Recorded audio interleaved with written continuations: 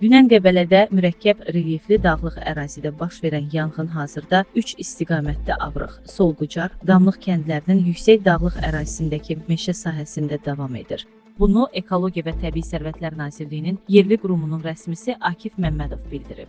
O qeyd edib ki, yanğının söndürülməsinə Nazirliyin bütün yerli qurumlarının əməkdaşları, Fövqəladə Hallar Nazirliyinin regional yanğından mühafizə xidmətlərinin yanğın söndürənləri və bir helikopteri rayon icra hakimiyyətinin nümayəndələri yerli kənd cəmaatı cəlb olunub. Yanğın mürəkkəb relyefli dağlıq ərazidə yerləşdiyi üçün ora yanğın söndürən avtomobillər çıxa bilmədiyindən alovun qarşısını əl əməyi ilə almağa çalışırıq deyə bildirib.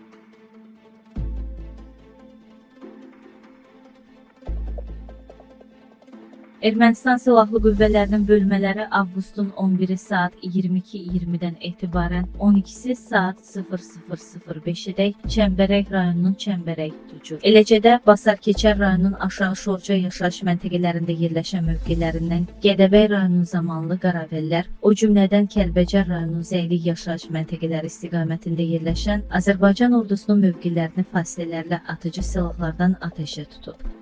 Bu barədə Yeniyavaz-KMA Azərbaycan Müdafiə Nazirliyindən məlumat verilib. Azərbaycan ordusunun şəxsi heyəti arasında həlak olan və yaralanan yoxdur.